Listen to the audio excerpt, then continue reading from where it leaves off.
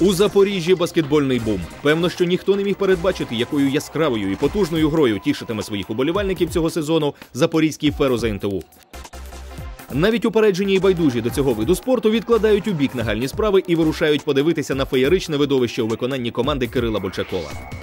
Так і кубкове протистояння з рівненським пульсаром інакше як показовим виступом запорозьких баскетбольних віртуозів не назвеш. І що найприємніше, серед плеяди американських легіонерів не гасне зірка найпрогресивнішого українського гравця Олександра Шапошникова. Повернувшись до рідного міста і отримавши вдосталь ігрового часу, захисник Феро розквіт і продовжує вдосконалювати свою гру. У матчі проти пульсара він був постійно в епіцентрі уваги і допоміг господарям зі старту утекти далеко за обрій 44-28 після першої половини. І хоча шапошником не зміг дограти до фінальної сирени через надлишок фолів, його внесок у загальний успіх важко переоцінити. Підтримали Олександра вже звичні забивали запорожців Тікс, Томас і Хантер.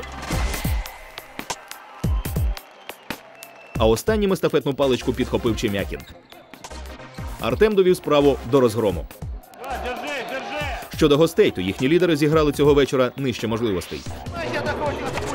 Забагато браку у передачах, вдвічі більша кількість втрат за суперників і невміння тримати удар після провальних відтинків.